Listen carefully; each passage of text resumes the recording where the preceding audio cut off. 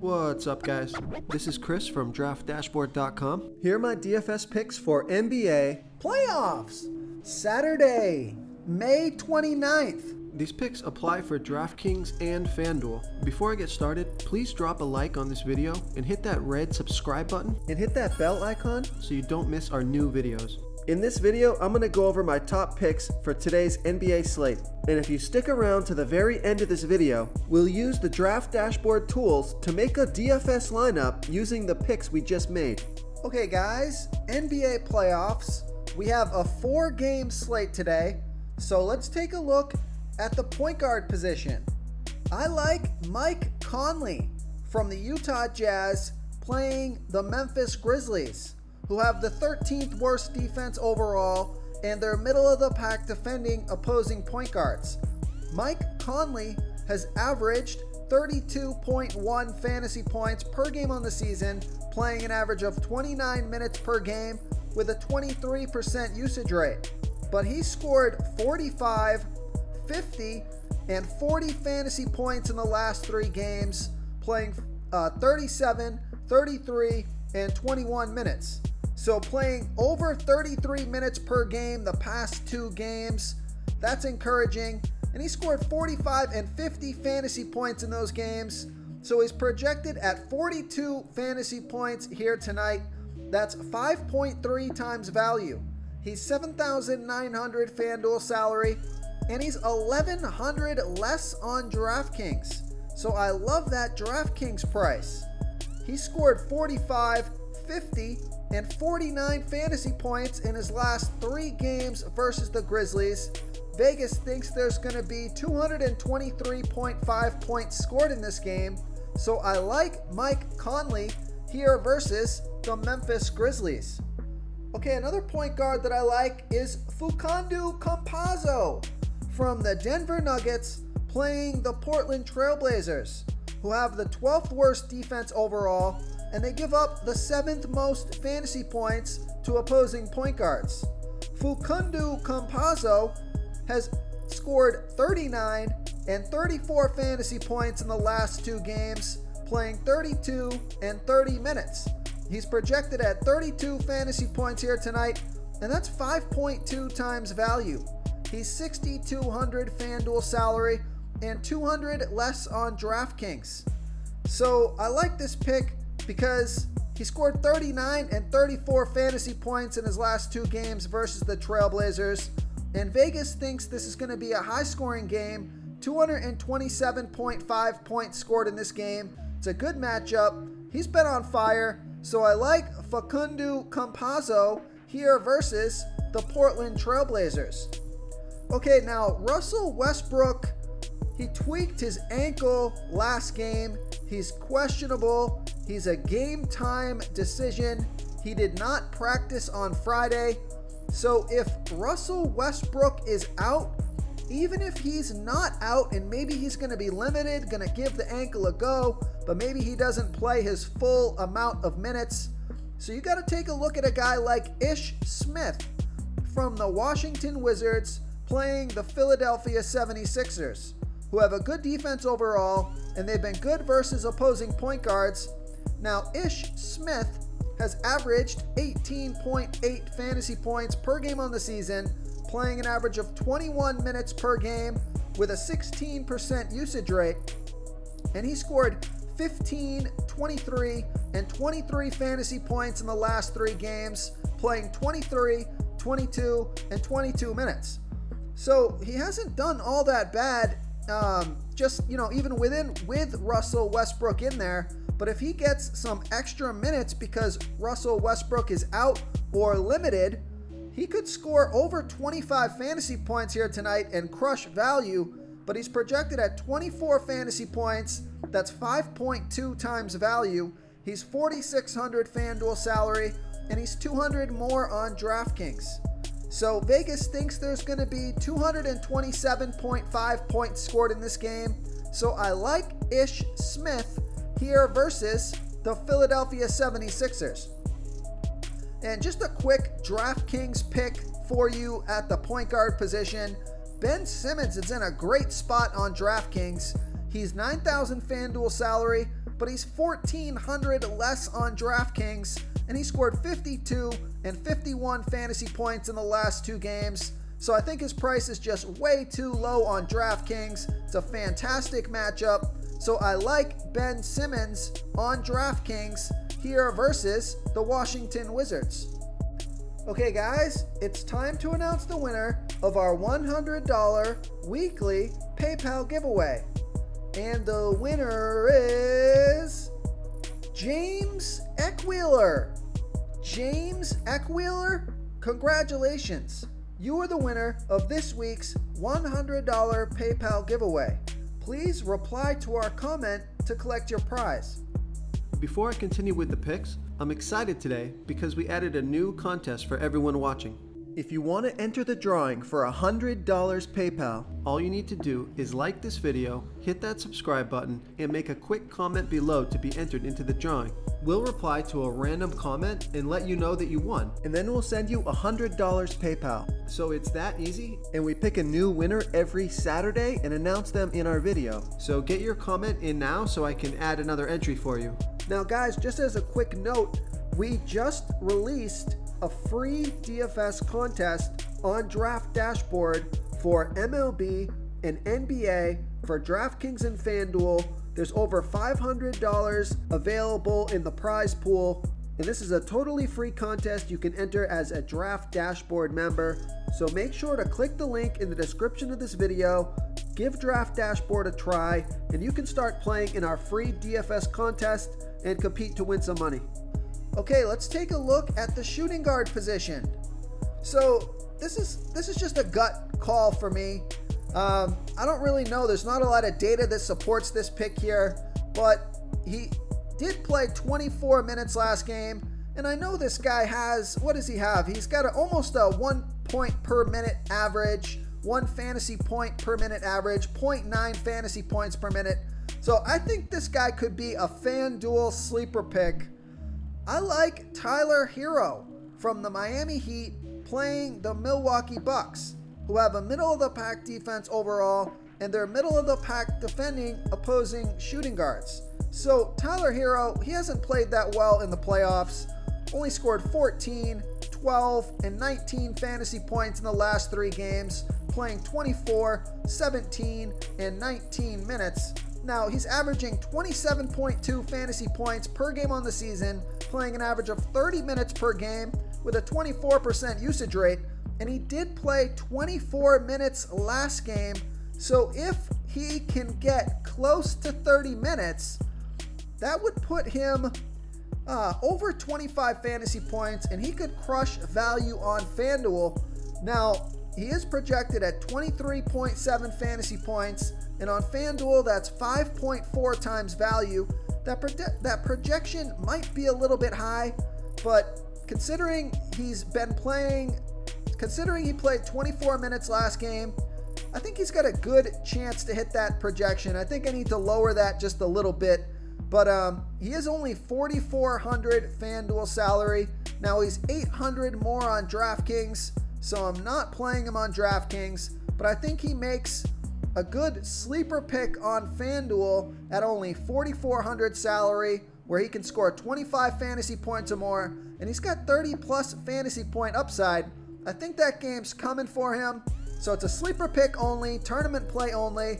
So I like Tyler Herro on FanDuel here versus the Milwaukee Bucks. Okay, another shooting guard that I like is CJ McCollum from the Portland Trailblazers playing the Denver Nuggets, who have a middle of the pack defense overall, and they've been good versus opposing shooting guards. But CJ McCollum has averaged 37.7 fantasy points per game on the season, playing an average of 34 minutes per game with a 27% usage rate.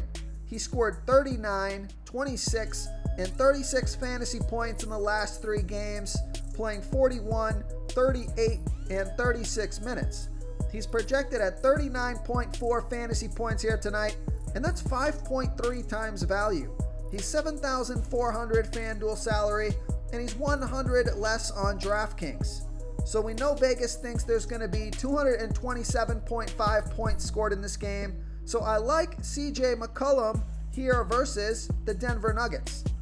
Okay, now considering that Russell Westbrook is going to be either, Uh, oh, he's questionable. So if he's out or if he's limited, I think either way, I like Bradley Beal from the Washington Wizards playing the Philadelphia 76ers, who have a good defense overall. They've been good versus opposing shooting guards.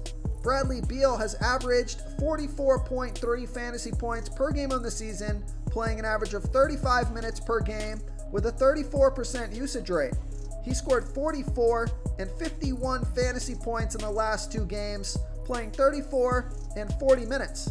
Now, because of the ankle injury for Westbrook, he's projected at 50 fantasy points here tonight. We're expecting him to get a have a much higher usage rate and maybe play a few more minutes here. So he's projected at 5.1 times value on FanDuel because he's 9,800 FanDuel salary, but he's 800 less on DraftKings. So I love that DraftKings price. And if Russell Westbrook is out, I think that makes Bradley Beal a lock on DraftKings and a really strong play on FanDuel. So Bradley Beal has scored 44, 51, 20, 75, and 44 fantasy points in his last five games versus the 76ers. So I like Bradley Beal here versus the Philadelphia 76ers. Okay, let's take a look at the small forward position. I like Jimmy Butler from the Miami Heat playing the Milwaukee Bucks, who have a middle of the pack defense overall, and they give up the third most fantasy points to opposing small forwards. Jimmy Butler has averaged 54.6 fantasy uh 45.6 fantasy points per game on the season, playing an average of 34 minutes per game with a 27% usage rate. He scored 39, 23, and 44 fantasy points in the last three games, playing 38, 31, and 45 minutes. He's projected at 48.4 fantasy points here tonight. That's 5.4 times value. He's 9,000 FanDuel salary, and he's 400 less on DraftKings. Now, that projection may be a little bit high, but even if he only scores 45 fantasy points, that's still over 5 times value. And Vegas thinks there's going to be 221.5 points scored in this game. It's a great matchup. So I like Jimmy Butler here versus the Milwaukee Bucks. Okay, another small forward that I like is Kyle Anderson from the Memphis Grizzlies playing the Utah Jazz, who have a good defense overall. They've been good versus opposing small forwards. Kyle Anderson has averaged 29.6 fantasy points per game on the season, playing an average of 27 minutes per game with a 19% usage rate. But take a look at his last three games. He scored 33, 40, and 39 fantasy points in the last three games, playing 36, 30, and 39 minutes. He's projected at 33.1 fantasy points here tonight. That's five times value. He's 6,600 FanDuel salary, and he's 500 less on DraftKings. So I like that price on both sites, but looks like a really good DraftKings price. And he scored 33, 40, 40, and 33 fantasy points in his last four games versus the Jazz. Vegas thinks there's going to be 223.5 points scored in this game. So I like Kyle Anderson here versus the Utah Jazz. Real quick, guys, I got great news. For a limited time, we're offering a full 30 day trial to Draft Dashboard. You can try all of our DFS tools for all sports. You can try the Position Optimizer, where you can see the top players ranked for each position. And we added a new Player Trends tool, where you can see the top salary differences between FanDuel and DraftKings. It's a really good tool to help you pick out value for the site that you're playing on. Oh, and if you're tired of doing research every day, we just added a cheat sheet that shows hand-picked plays for the slate. No confusing stat lines, no headaches, just a simple cheat sheet that shows the absolute best players for your lineups. Okay, let's take a look at the power forward position. I like Robert Covington from the Portland Trailblazers playing the Denver Nuggets, who have a middle of the pack defense overall, and they give up the absolute most fantasy points to opposing power forwards. Robert Covington has averaged 25.9 fantasy points per game on the season, playing an average of 32 minutes per game with a 12% usage rate. He scored 30, 14, and 18 fantasy points in the last three games, playing 38, 37, and 34 minutes. So he's been playing monster minutes the past couple of games.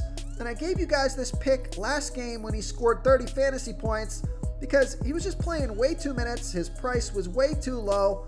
And I know he's got that 30 fantasy point upside, and he showed it last game. So that was a great play. So he's projected at 27.1 fantasy points here tonight, and that's 5.2 times value. He's 5,200 FanDuel salary, and he's 500 less on DraftKings.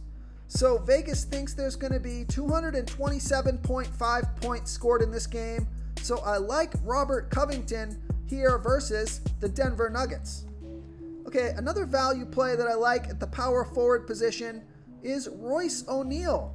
He's another guy that's playing a ton of minutes and he's got decent upside here just because of the amount of minutes that he's playing and his price is so low. So Royce O'Neale from the Utah Jazz playing the Memphis Grizzlies, who have a middle of the pack defense overall. They're middle of the pack defending opposing power forwards. Royce O'Neale has averaged 21.6 fantasy points per game on the season, playing an average of 32 minutes per game with a 10% usage rate. Now, he scored 27 fantasy points last game, played 33 minutes, and he's projected at 21.5 fantasy points here tonight, and that's 5.1 times value. He's 4,200 FanDuel salary, and he's 400 more on DraftKings. So I prefer that FanDuel price. I think there's some other value play, uh, other value players. I'd rather play Robert Covington on DraftKings, but on FanDuel, I like Royce O'Neale here versus the Memphis Grizzlies. Okay, now another power forward that I like. These are all sal- uh, value to mid-range plays here. I like Daniel Gafford from the Washington Wizards playing the Philadelphia 76ers, who have a good defense overall. They've been good versus opposing power forwards. Daniel Gafford, he scored 25, 25, and 47 fantasy points in the last three games, playing 20, 20, and 22 minutes. He's projected at 27 fantasy points here tonight. That's 5.1 times value. He's 5,300 FanDuel salary, and he's 1,100 less on DraftKings. So I love that DraftKings price. I think Robert Covington and Daniel Gafford make for very interesting value plays on DraftKings. Robert Covington playing a ton of minutes, where Daniel Gafford playing 20 to 22 minutes, but he's been super productive. So I like Daniel Gafford here versus the Philadelphia 76ers. Okay, moving on to the center position. I'm going to give you a stud pick here. I like Nikolai Jokic from the Denver Nuggets playing the Portland Trailblazers, who have the 12th worst defense overall and they're middle of the pack defending opposing centers. Nikolai Jokic has averaged 54.7 fantasy points per game on the season, playing an average of 35 minutes per game with a 30% usage rate. He scored 55, 54, and 54 fantasy points in the last three games, playing 35, 31, and 35 minutes. And he had a 37, 36, and 39% usage rate in those games. And he's projected at 54 fantasy points here tonight. That's five times value. He's 10,700 FanDuel salary, and he's 300 less on DraftKings. So I think the Joker makes for an awesome stud pick here. He's been super consistent. His usage rate is through the roof. Scored over 54 fantasy points in his last three games. So I think he makes a lot of sense as the anchor of your lineup. So I like Nikolai Jokic here versus the Portland Trailblazers. Okay, another center that I like is Rudy Gobert from the Utah Jazz playing the Memphis Grizzlies, who have a middle of the pack defense overall, and they give up the third most fantasy points to opposing centers. Rudy Gobert has averaged 40.5 fantasy points per game on the season, playing an average of 31 minutes per game with a 17% usage rate. He scored 52, 35, and 40 fantasy points in the last three games, playing 35, 24, and 27 minutes. So Rudy Gobert has been consistently underpriced pretty much all season. He's been playing really well, he's been super consistent. Now he's projected at 42 fantasy points here tonight. On FanDuel, that's about five times value. His price, uh, he did get priced up on FanDuel. He's 8,500 FanDuel salary, but he's 800 less on DraftKings. So I love that DraftKings price. So Rudy Gobert has scored 52, 35, 35, 40, and 43 fantasy points in his last five games versus the Grizzlies. So I like Rudy Gobert here versus the Memphis Grizzlies. Okay, now if you want to take a shot, and uh, now I would play Nikolai Jokic, but if you want to take a shot on this stud here at the center position, take a look at Joel Embiid. He hasn't played well so far in the playoffs, hasn't been playing a lot of minutes, hasn't been productive. He hasn't hit value once yet, despite having a fantastic matchup. But I just got a gut feeling that he's going to bust out and score over 50 fantasy points here tonight. So if you're looking for a, I don't even want to call it a high risk, high reward play, just a surprise pick here, take a look at Joel Embiid from the Philadelphia 76ers playing the Washington Wizards, who have the fourth worst defense overall, and they give up the second most fantasy points to opposing centers. Joel Embiid has averaged 49.3 fantasy points per game on the season, playing an average of 31 minutes per game with a 36% usage rate. Now, we only scored 34 and 40 fantasy points in the last two games, playing 26 and 29 minutes, but he is projected at 48 fantasy points here tonight. But I think he's going to score 50 fantasy points or more, get you five times value or more. He's got 70 plus fantasy point upside, just waiting to bust out in the playoffs. He's 9,900 FanDuel salary and 100 less on DraftKings. Now, I kind of expect his ownership to be a little bit low here because he hasn't been playing many minutes, he hasn't been performing yet, and his salary is way up there. So I think he could be a surprise pick here tonight. So I like Joel Embiid here versus the Washington Wizards. If you want to try all these daily fantasy tools for yourself, click the link in the description below this video or just go to draftdashboard.com. You can use our DFS lineup optimizer to build quality lineups using our picks and your own custom player pool. Click the link in the description below this video and try all these daily fantasy tools right now. Thanks so much for watching. Oh, and don't forget to subscribe to this channel and hit that bell icon so you can get instant updates whenever we post a new video. Thank you so much for watching everyone. If you enjoyed this video, please smickety smash that like button and subscribe to the channel if you haven't already. Oh, and please comment below with your favorite player for this NBA slate. I love to hear what you guys have to think. Thanks again and good luck.